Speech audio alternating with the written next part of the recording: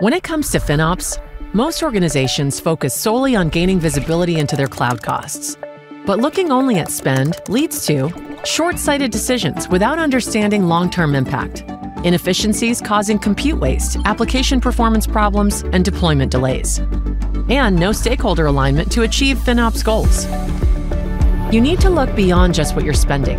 To truly gain value from FinOps, you need to operationalize it with these four key processes continuous holistic visibility into costs, resources, and analytics.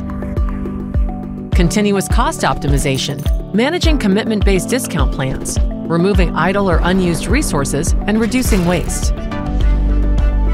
Continuous infrastructure optimization, auto-scaling resources based on real-time analysis of virtual machines and container workload requirements.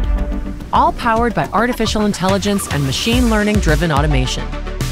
With these four processes, FinOps does more than reduce costs, eliminate waste, and optimize commitments.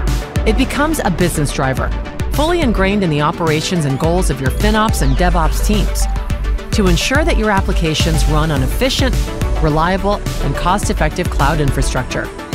By operationalizing FinOps with Spot by NetApp, you can immediately cut cloud spend, ensure application efficiency, make business decisions with actionable visibility and intelligence, and gain the tools to create a culture that drives stakeholder collaboration and accountability. Learn more at spot.io.